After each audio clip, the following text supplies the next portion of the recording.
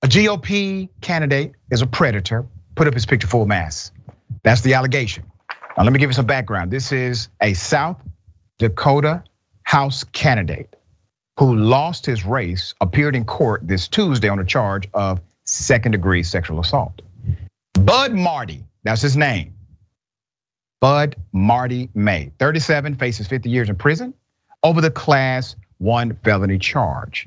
His bond was set at $7,500 with a no contact order regarding the victim. His preliminary hearing is set for November 30th at 11:30 a.m.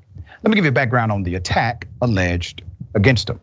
According to the victim, Mr. May forced himself on her in a bathroom stall at a bar, telling her, and I quote, I am six foot eight, white.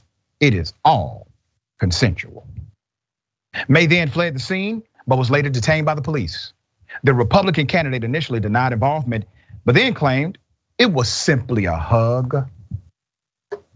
Just days before Bud ran for one of the two South Dakota seats against uh, his mother, Elizabeth May, the seats were won by Peri Pourier, a Democrat with 29% of the vote, and his mother, Elizabeth May, Republican with 26% of the vote. Uh, but Bud finished last.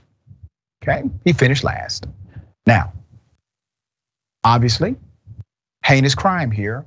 The allegation is extreme and horrific. But think about it in context of where we are in the political arena. He goes to a woman, according to her account, and I believe her, and he physically violates her, sexually violates her, and then provides an excuse as to why. Well, Donald Trump said that was okay. Donald Trump says he just grabs women by the you know what.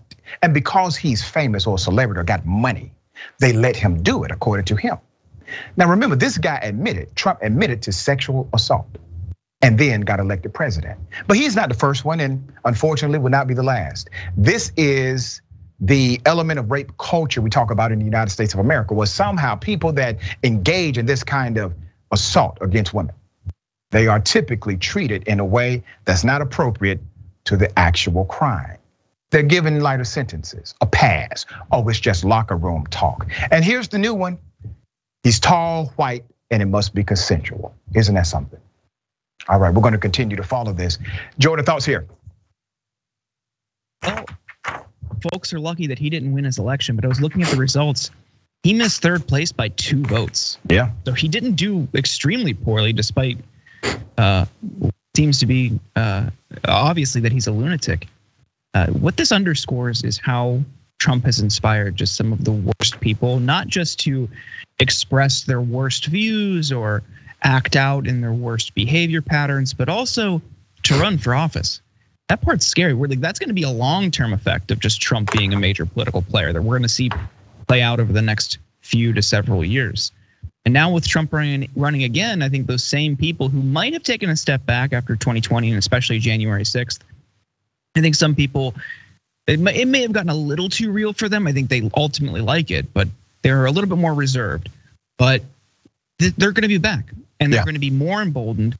They're going to be more outspoken with their bigotry, their hate, their racism, their xenophobia, their transphobia they're going to feel empowered again. And that's really unfortunate. So I know people watching the show are going to fight back against Trump's run, but ultimately DeSantis too will try to cater to the same people. It's going to be a race to the bottom when we all lose. Well said.